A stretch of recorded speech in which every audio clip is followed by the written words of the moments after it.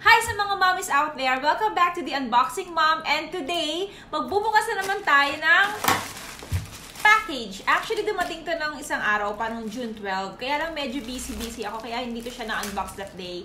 So, ngayon natin siya buksan. And, actually, ina-expect ko para to sa cellphone ko eh. Yeah, kasi nakasulat naman description dito. So, anyways, let's open this. Okay.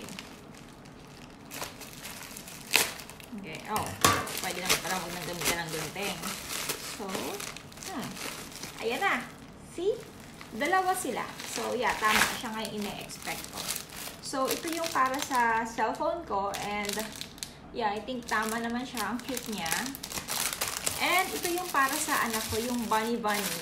Actually, um, hindi, hindi naman talaga ako dapat bibili nito eh. Kasi, nagkamali si um, Louisiana. I don't know if I'm, I'm, ano ah, if I'm pr pronouncing his name ng tama. Louisiana.ph. So, yeah, mali yung binigay niya. Ito yung dating pinadala niya. So, ito yung unang order namin. So, hindi ko alam kung anong unit to. So, ito yung unang bunny para sa anak ko. Nagkamali siya. So, sabi ko sa kanya, madali naman siya kausap, mabait naman siya, guys. Sabi niya, para, para mag, uh, makuha ko yung tama, kailangan umorder ulit ako. So, yeah, I think na-encounter niyo rin yung mga ganun sa mga sellers, di ba? Na kung gusto niyo makuha yung tamang um, case, order lang ulit kayo sa kanila, tapos isasabay nila. So, ganun ulit yung, um, ganun yung ginawa ko. So, namili na lang ako. So, ito yung in-order ko na phone case. This one is um, 169 pesos and together with shipping, naging 219 pesos yung binayaran ko. So, dalawa na sila, isinama to. Ito naman, original price nito is 168 pesos. So, um, buksan natin.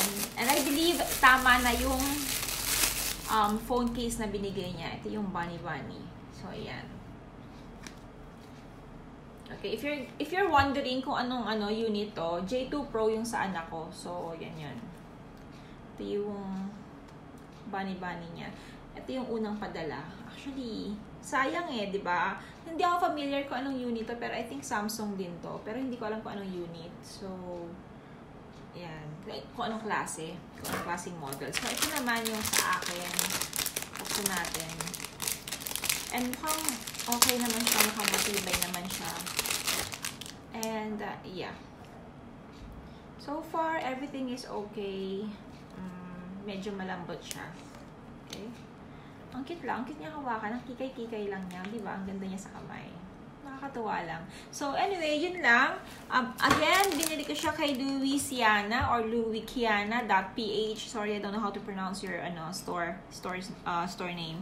Um, June 3 ko siya in-order. June 12 siya dumating. So, yun lang guys. Thank you. See you on my next unboxing. Bye everyone.